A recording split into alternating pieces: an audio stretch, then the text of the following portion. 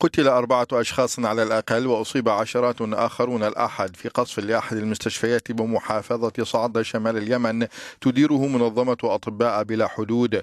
ولم يحدد مصدر القذيفة التي سقطت على مستشفى شهارة بمديرية رازح التابعة لمحافظة صعدة. ولم تؤكد المنظمة مصدر الهجوم على الرغم من مقاتلات شهدت تحلق في الأجواء وقته